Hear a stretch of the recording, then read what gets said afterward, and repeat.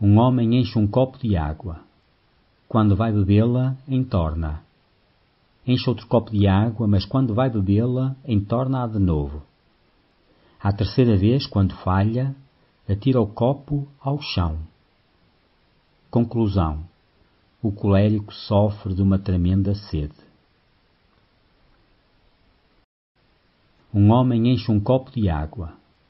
Quando vai bebê-la, entorna. Enche outro copo de água, mas quando vai bebê-la, entorna-a de novo.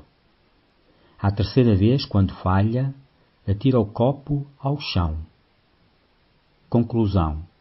O colérico sofre de uma tremenda sede.